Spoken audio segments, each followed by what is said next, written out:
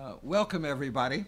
Uh, I'm Hugh Patrick, Director of the Center on Japanese Economy and Business at Columbia Business School.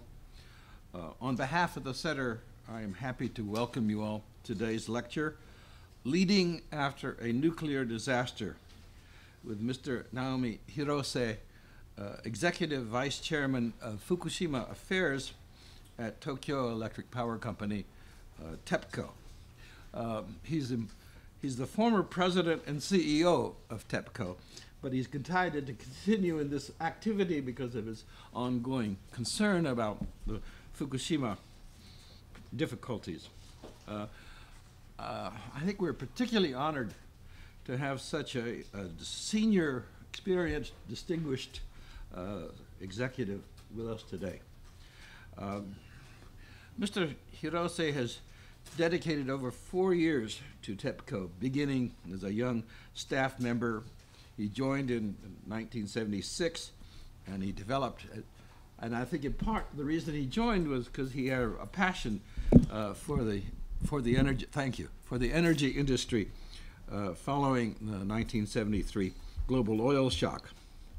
Uh, throughout his career, he's developed expertise in corporate planning, sales, marketing, customer relations in the course of his different management assignments.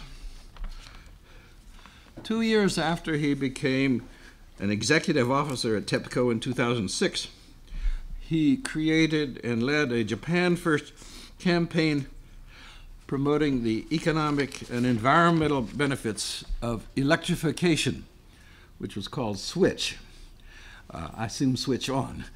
Uh, uh in 2010, he played a key role in the company in expanding its vision toward global expansion. Following the March 11, 2011 Great East Japan earthquake and tsunami, uh, Mr. Hirose again demonstrated his leadership and commitment, dedicating himself to creating the TEPCO system for nuclear damage compensation.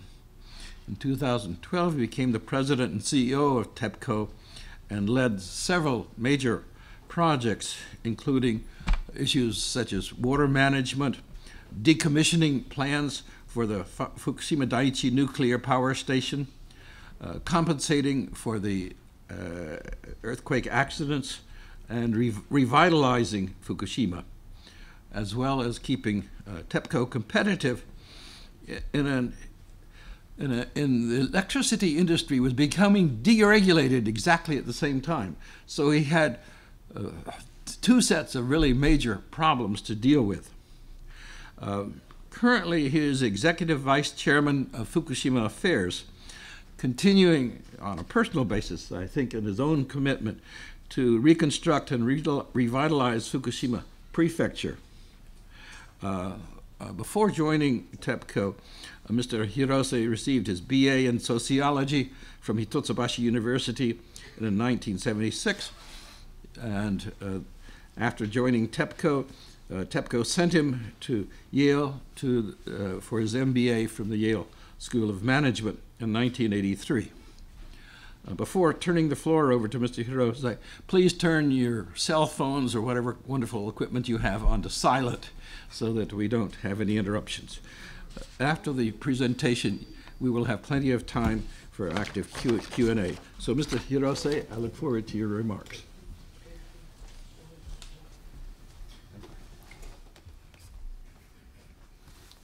Well, thank you.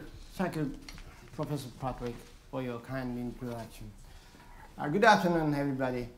Uh, my name is Naomi Hirose. Um, it is my great pleasure to be here to speak to you this afternoon. I'd like to thank Columbia University for providing me this opportunity. Well, it has been almost eight years, over the eight, eight years since the accident of our Fukushima nuclear power plants. Fortunately, uh, the plant condition, current plant condition is very stable and uh, situation of the surrounding communities are getting better day by day. Although the accident itself was very, very severe. But fortunately, we, we learned a lot from the accident, and then we experienced a lot since the accident.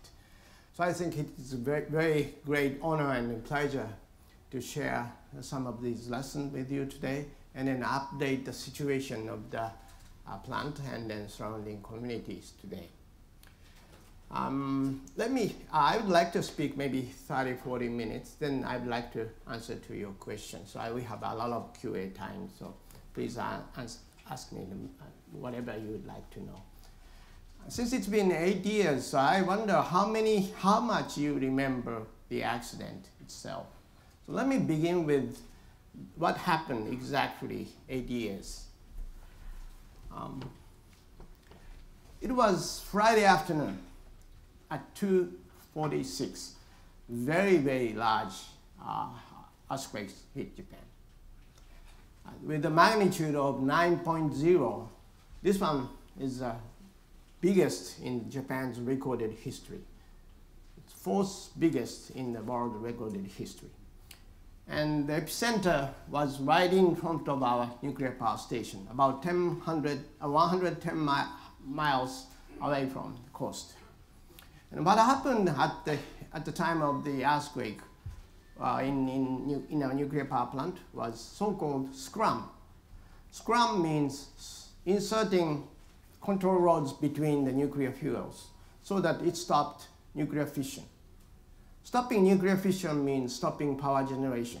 So this plant is power plant, but it needed power for itself. The power was supposed to come from outside in, the, in, the, in these cases. But unfortunately, one of our power pylons fell down because of the earthquake, and we didn't receive any power from the outside.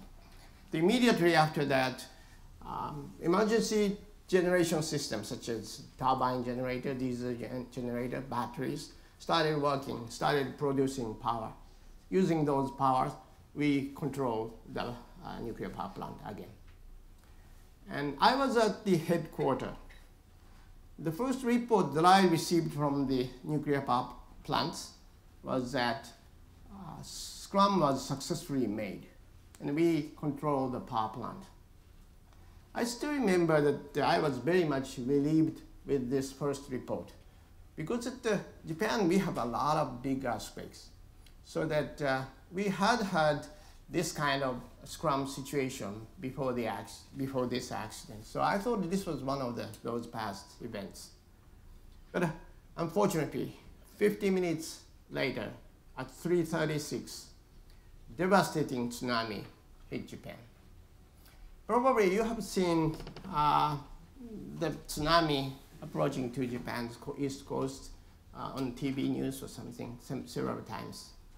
Unfortunately, nobody in our nuclear power plant was taking video of tsunami approaching to their nuclear power plant. Probably they are busy handling the situation right after the, the earthquake. But fortunately, one guy was taking a video of tsunami approaching to his thermal power plant. He's in a thermal power plant. That thermal power plant is called Hirono Thermal Power Plant. And this thermal power plant is located just 20 kilometers, 12 miles south of Fukushima Daiichi. So it's very close. Why don't we watch uh, his video?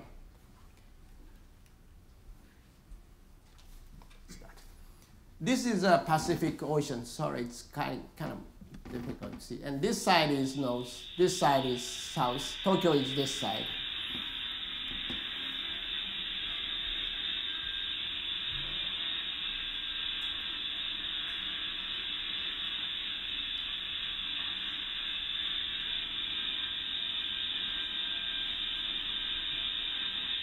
Again, this is not a nuclear power plant. This is thermal power plant. Please take a look at these automobiles. They look like leaves.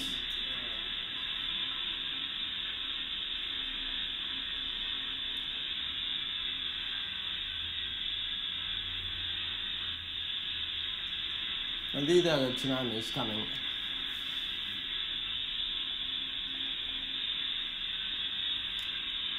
Okay, this goes on and on, so why don't we stop it? And this is a map of the Fukushima Daiichi nuclear power station. Unit 1, 2, 3, 4, 5, 6. And this blue area was inundated with seawater. They washed away turbine generators, batteries, electric boards, and pumps. And uh, we lost power completely. We became totally blind. And it's called station blackout, SBO situation. Probably you know that the nuclear fuels keep vast amount of heat even after the nuclear fission stopped. So we had to cool them down by recirculating water. But after the pump stopped, and then first of all, power stopped. So we couldn't cool them down anymore. So the temperature of the nuclear fuel start going up, going up. And then nuclear fuel rods are covered with the metal called zircon. This material start melting at the temperature around 1500 degrees Celsius. So it started melting and then formed vast amount of hydrogen by the chemical reaction with water. And hydrogen, hy hydrogen is lighter than the air, so it, it went up. And then nuclear power plant building has no you know, it's sealed, so the hydrogen piled up and then accumulated inside the building of the top, top of the inside the building. And we still do not know what ignited hydrogen explosion. But at that time, we still have a many, we still had many, many aftershocks. So those, those electric bulb might fall, fall down or pipe shaft might fall down, anything could happen. So something ignited and nuclear explosion, I mean a hydrogen explosion took place at unit one, three, four. And then top of the building, because the hydrogen was on the top of the building, so the top of the building was well, exploded, and the nuclear uh, radioactive material spread outside and spread outside the plant site. This left-hand side map shows the dosage level of the surrounding communities. This one was uh, as of April 2011, so just one month after the accident. Obviously, the wind came from southeast to northwest, so that the contaminated area spread toward the direction of northwest, this way. Plant, was, plant is here, so it's went this way. But take a look at this right-hand side map. This one is November 2017, so six and a half years after the accident. It looks better, much, much better now. Because it, uh, we did a lot of decontamination work in this area. And then also, as you know, that the radioactive level goes down as time goes by. So it both worked, so it looks better now. So this is an evacuation zone. Right after the accident, Japanese government uh, designated the, the, evacuation zone within a ra radius of 20 kilometers, so somewhere in here. These are the evacuation zone. But the, the radioactive level goes down so that the uh, evacuation zone is getting small and small now. And, but still two towns left uh, remain in uh, evacuation zone still. But uh, this green area, area and the yellow area just was just released last week. Uh, no, this uh, green and yellow area is no more evacuation zone, so it, it's open now. And then this pink area, uh, the, the size area is 370 square kilometers. So this is 3% of the total of Fukushima Prefecture. The size of the Fukushima Prefecture, prefecture is very similar to state of Connecticut. So probably you have kind of images, 3% of the state of Connecticut still remains uh, in the evacuation zone. And this is the number of the people uh, had to uh, be evacuated.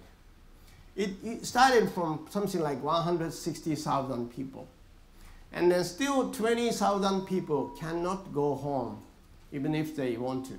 This is not this is not the number of the people who actually uh, left homes and then live other area because it, uh, even those people living in those uh, area they left and they moved so that uh, this is a, a, number of evacuees who used to live in uh, uh, evacuation zone. So actual number of the people who left uh, their hometowns is probably double, uh, nearly 50,000 still. And then because it's been eight years, so that their lifestyle changed very much. The kids went to uh, primary school, now going to high school, colleges. So that uh, I don't think the 100% people will come back because the life has been changed very much. But still, those 20,000 people cannot go home, even if they, even, even when they like to go home. So what, one, of, one, of the, one of the TEPCO's responsibility is try to restore this area as soon as possible so that the people can go home if they want to or when they want to. That's, that's one of our job. This is what happened eight years ago there and thereafter. Let me talk about the current situation of the nuclear power plant. Uh, this cross dimension view shows that uh, uh, each of the uh, units. As I said, that the plant condition is stable now. The cooling water is being circulated uh, continuously, and temperatures and, and other parameters are being monitored 24/7.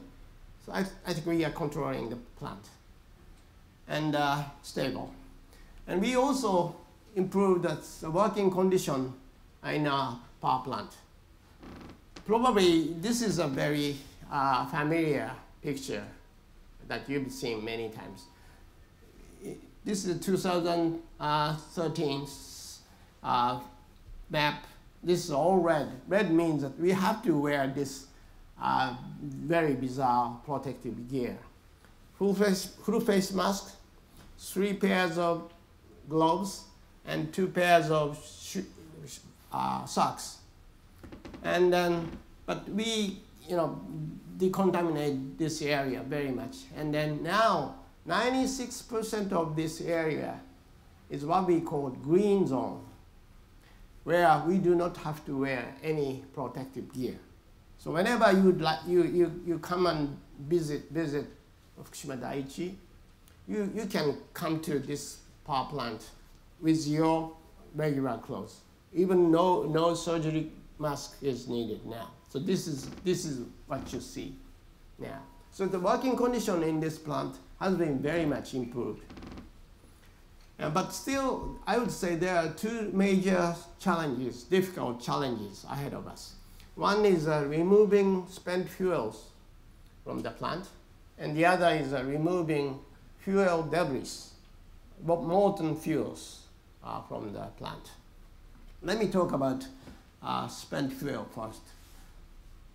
In each uh, plant, this upper right-hand side corner, this is a uh, spent fuel pools. So there that the spent fuel still left in this spent fuel. Please take a look at unit number four. Unit number four was not operation on March 11, 2011. So that all the fuel fuel was supposed to be in this reactor. All the fuel had been taken out from the reactor to the spent fuel pools. That's why there were 1,535 fuel bundles in this spent fuel pools. That many fuels uh, were in this spent fuel pool. So I, we thought that this was very big risk because at the top of the building uh, because number four had also the uh, hydrogen explosion. So number, the top of the building exploded. It's, it's open. So uh, we thought this was very, very risky. So first we tried to take these, these 1,535 fuel bundles from the spent fuel pool. And four years ago, it took one year, but we completely taken away uh, these 1,535 bundles. So now we are trying to take these 566 fuel bundles from unit number three. And unit number three also had uh, explosion on the top of the building. So the, the top is this mess. So first we had to take those rubble out of the top of the building. Then we built this cylinder-shaped uh, structure on top of the building. Inside, we installed the crane and then fuel handling machine. And uh, just this week, Monday, probably you've seen the news, just this week, Monday, we started taking uh, some nuclear fuels from the unit number three. And then yes, in Monday, Tuesday, we took seven out of 566 fuel bundles. So we just started. But uh, um, the, the radiation level here inside this building is relatively high still compared to the unit number four. At the unit number four, wasn't very uh, uh, high radiation level. So man went there and then control the machine, manipulate the machine, and then took the 1535 fuel bundles. But here, it's a little bit higher, so I, I don't want my people be exposed in this area. So every operation has to be remotely controlled. So it's, it's a little bit difficult. So it takes, although the number of the number of the fuel bundle is just 566, so it's one third of the unit number four. But it, it will take more than a year. It's a little bit less than two years. So anyway, we just started uh, the operation. Let me talk about the debris. Debris is a nuclear, you know, fuel, molten fuel. The condition of the each unit one, two, three is different. But uh, we, we analyzed that uh, the, you know, nuclear fuel was supposed to be in this reactor, standing. But all of them are molten. And then, for example, unit number one, I would say most of the molten fuel dropped through the, react, through, through the reactor and stayed, dropped, stayed in this, uh, the basement of the uh, containing vessel. But uh, on the other hand, unit number two, although the, the fuels are all molten in the reactor, but uh, only a few portion drop down here. And then unit number three is in between one, two. And so the situation is different in each uh, unit. So we had to, we have to develop the different shapes of the robotics to let them in. And for unit number two, uh, the penetration of this vessel is so narrow that's why we developed this kind of the uh, you know, fishing rod, fishing line type robots. And the end of the line, we put this camera and then some monitoring device and collecting data. And we put these robots here and then drop the line here. And about a year ago, we took the picture of this thing. This is it. This is, uh, this is this is a picture taken from the above here. Oh, it looks uh, very ugly, first of all. And uh, uh, I don't know what it is. It looks like uh, lava, right? And then about two months ago, we tried to pick those pebble up, sorry, we try to pick up those pebble. We put the magic hand type things and then grab it and then lift it. And let me show you the video of that. This is uh, both sides of the hand. It's like a scissors. Okay. It's, it's try, try to grab, hold it.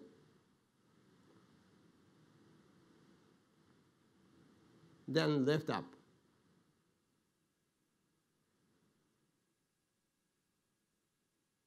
See? Okay, so I, I, we think that this is a, one, one great step ahead. And uh, we now know uh, we can pick up those things. Oh, this time we didn't take anything out of the uh, vessel because we didn't prepare any container. So it's easy to take it out, but uh, well, we, shall we do this, this thing? So before we, took, we take something out, we have to prepare the container. And so within a year, we will pick up some very small portion of things and then take away and then examine the ingredients of that and then plan again. And, but uh, we also found out that the surface of the lava, uh, for example, these things, we tried to scratch, but it was very stiff. We found that this is kind of stiff. So next time, we put something, some, some cutter with the, with the magic hand and try to chop it. So anyway, anyway this is a very small uh, step, but uh, we learned a lot of things. So we have to, we, we can't you know, jump to, to, to the end uh, instantly. We have to uh, take a step-by-step approach, but uh, we, are, we are moving forward. So this is about the current situation of the Fukushima Daiichi nuclear power plant. Let me, let me uh, explain the, uh, financial situation of TEPCO. This is historical profit and loss uh, chart of the of TEPCO. Because that the uh, accident happened here, so we recorded huge losses in three consecutive fiscal year. But uh, since the 2013, fiscal 2013, and then 2000, fiscal 2014 just end you know, March 31st. So it will be next week, we will disclose that the financial report for the fiscal 18. And fiscal 18 is similar to fiscal 17. So we have recorded uh, so-so good profit since 2013. Six, so it will be six consecutive years. And compared to the, those figures in, before the accident, it looks so, so good, doesn't it? But actually, it isn't. It's not easy. Let me explain it. This is a total estimated cost of the accident. And this estimation was made, made by one of the committees of the uh, government. It consists uh, of th three parts. One is, a uh, one is a nuclear damage compensation.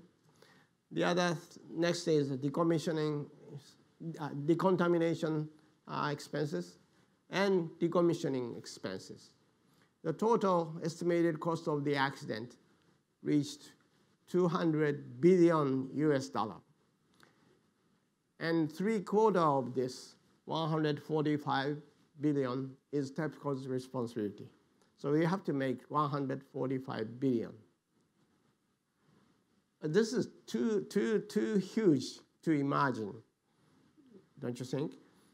This is too, too huge to, to, to, to understand how to manage or how to do this. So let me put it this way. Fortunately, this amount, uh, we do not need this much cash at this moment, right now, fortunately. So why don't we, because the decommissioning takes 30 years or 40 years. So why don't we, uh, let me divide this 145 by 30 years. So it ends up $5 a year. Still very, very large. But uh, let me check that the, our past performances. Starting from 2015, and then probably 2018, the same. Um, we spend compensation expenses about one point some billion dollar a year, each year. And then also we spent decommissioning ex expenses, a similar amount a year. But still we uh, recorded ordinary income of two point something. So total is almost $5 billion. I'm not saying that we can do this for another 26 or 27 years, or it's not an easy thing. But uh, as CEO, this $5 billion a year was a very, very important benchmark to me to manage the company. Because the 145 is too big, you know, too, too big to think about what, what, what, how we you know, deal with. So I always, uh, at, the every financial report, I always benchmarked these figures. And if it's over $5 billion, it's good. But if it's less than $5 billion, we have to catch up for the next year. So it doesn't mean anything uh, for the financial standpoint. But uh, to me, it, this, these numbers are very, very important. Let me talk about the activities outside uh, nuclear power plant. As I said, that uh, in order to, for the people evacuated uh, to go back when they would like to go, go home, a lot of things are needed. Not, compensation money is not enough for them to come back. For example, ADS means very, very much. Their, their houses are messed up. Wild animals are running around. And uh, they need to, when they come back home, they need to weed, weed the, the plants or snow shoveling in, in, some, in winter or cleaning up their houses. Those, those things, those work are needed. So these activities were, have been done by TEPCO employees on voluntary basis. Of course, I asked them to help, but I didn't force them to do that. That's, you know, in, in a the branch office is in Tokyo metropolitan area. People just go to Fukushima, our people, our employee go to Fukushima and do those things. And then see what, what the situation of the, those community and feel how big the, the impact of the accident is. And sometimes they, they, they meet the local people and then have, have some, some kind of conversation with them. And then come back to their, to their uh, field offices. And then tell what he saw, what she did, what, she, what kind of conversation they had, how, how they feel uh, to their colleagues. And then one of the other colleagues started saying that I'm going to go next week there and do these, these things. This kind of the how you say, chain, chain reaction continued in the past six, seven years. And the total number of the person days spent in Fukushima area doing these things reached over 460,000 person days. And then these activities were very much appreciated by local people, local mayors of the towns and cities, and then and you know, pe even people evacuated. And I know this is very, very Japanese way of taking responsibility. But I'm very much proud of my people. They have been doing very, very well. Okay. In closing, let me ex explain the lessons that we learned from the accident, uh, that I learned from the accident. I learned a lot, but I listed here in three uh, things. One is a safety culture, and the one is effective communication, one is a building solidarity. Let let me talk about safety things. Since we had that big accident, we've got to learn a lot about safety so that we never uh, have this kind of the, uh, bad accident again. And so instilling the safety culture, we've been trying to instill safety culture in everybody's mind and doing these things. But it's not easy.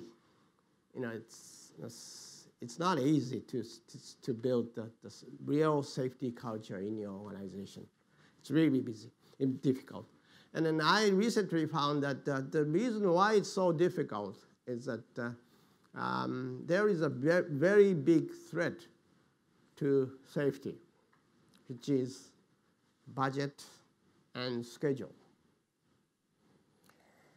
People, maybe including you, think safety and meeting schedule budget are mutually exclusive. They do not stand together. It's kind of trade-off situation. Don't you think so? Yeah, people, people tend to think that way. It's kind of natural thing. So in that, as far as you think that way, as far as our people think that way, ultimately, at the end, I would say you prioritize budget or schedule over safety. I bet. Because, simply because, even if you violate safety rules, the accident wouldn't necessarily take place, right? If you ignore the red light and cross the street, the accident wouldn't take place necessarily. It's dangerous. Do not do that, please. But uh, it, it, right?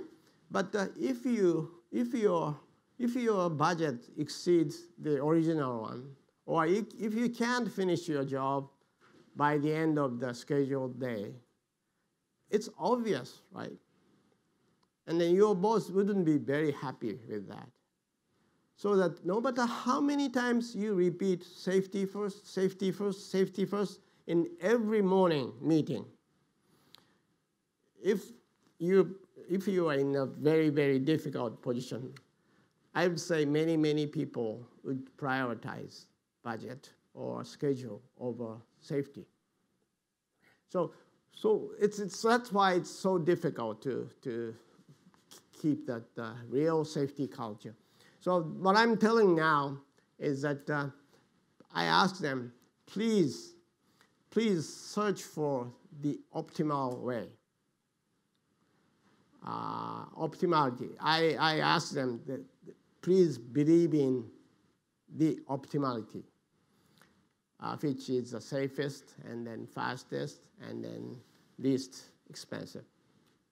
Let me give you an example. Imagine your job is digging a hole and then put some equipment in it and then cover your, the hole, right? And you start digging a hole at 10 o'clock in the morning and you complete that the hole and you put something in it and try to cover that hole. But by the time you start cover the hole, it's getting dark. So you have to stop it.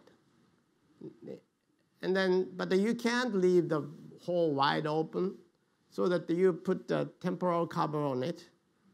And then you hire two guardmen and put one each on the both side of the hole so that the people passers by might not fall off, fall, the pole down.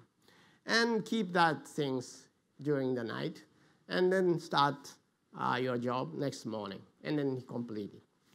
This kind of things always happens everywhere, I would say. But what if you start digging a hole from 6 o'clock in the morning? You might have finished everything by it's get dark. And that you don't have to pay, you know, don't have to hire two guardmen, you don't have to put the, temporal cover, or you don't have to leave the, the hole wide open during the night. So safe and less expensive and on schedule. You, you completed your job by the end of the day. So this maybe this example is too simple, but uh, I am I'm asking to my people that they believe in that there is a very very optimal way, which is cheaper, which is faster, and which is more economical and, and, and on schedule and safer. So that's, that, that's what I'm telling now. Let me talk about the, the, the okay, sorry, this is, this is a what, example. You know, people prioritize needed. But anyway, so next, effective communication.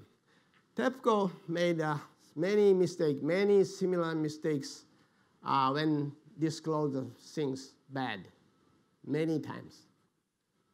We always disclose something bad, uh, not immediately. We, we made the same mistakes again and again and again. I don't know why people make same mistakes again and again and again. And then I think that the people in the field, particularly technical people, tend to disclose the bad news after they scrutinize, they, after they find out that the real cause is. Because that they know when they disclose something bad, they would be asked, what was wrong? What's your countermeasure? They know that. So that before they disclose things, they'd like to know the answer. So, the, so they try to scrutinize things and then disclose a bad thing. And then media accuse TEPCO. TEPCO is trying to hide something again. This, this, this happened many times, actually. So what I'm telling people uh, that please do not afraid of saying, I do not know yet. I am checking now. Let me give you an example. If something bad happened at 1 o'clock today, and you disclose something bad, that thing, at 1.30, 30 minutes after, you can say, I do not know the, the real cause is. I'm still working on it. I'm still checking on it. But what if you disclose something bad happened this 1 o'clock tomorrow? Can you say that I'm, I'm, I don't know, I'm still working on it? Right? It's, it's kind of difficult, you know. Peop, you know. Media people would ask you, definitely, what were you doing for 24 hours in the past 24 hours? So I'm, that's, this is, this is uh, things that I'm asking them, do not affiliate. So, you know, just immediately um, disclose things so that you can say, I, I, I do not know yet. The third lessons, building solidarity. I would say this is the most important lesson I learned from the accident, since the accident.